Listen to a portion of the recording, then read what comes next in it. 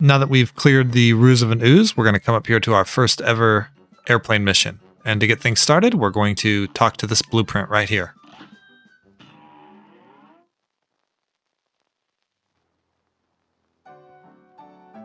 When flying the plane, you have three options. You can shoot, which is just your basic machine gun. Special, which is your super attack. At fully charged, you turn into a huge bomb.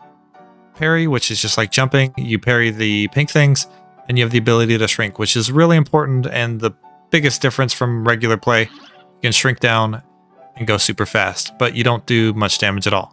Period. Let's get started.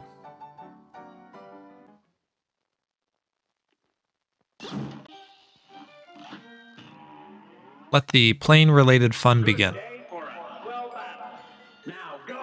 Hilda's first phase is either a ha, or she's going to run all the way from the right of the screen to the left, so just keep going up and down while leaving the purple dudes alive, so that you can parry their attacks. First phase is always going to be this bull. Go top to bottom over and over, and for a majority of this fight, you just either want to be in the top left or the bottom left. We can see we do a ton of damage while just going top to bottom. One strange thing about this level is you don't want your special meter to get completely full. The individual cards do way more damage. There's another parry. For this tornado attack, you actually want to go to the top of your screen, top left, and then go to the bottom. Or you can do the exact opposite of that. And we're just avoiding stuff. Okay, we're really unlucky here with the harder of the two bosses, and I think the two ladies is a lot more common as well. So we're just going to keep going in circles here while shooting the blue stars and trying to get more parries. Avoiding all that stuff.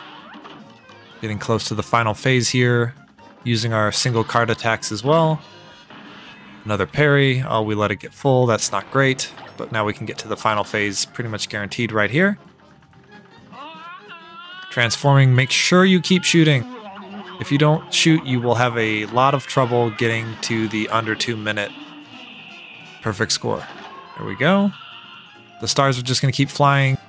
I would not focus on those. I would focus on the UFOs.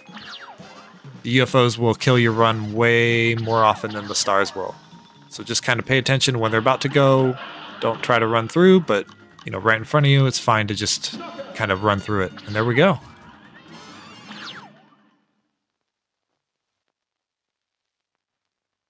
Perfect score.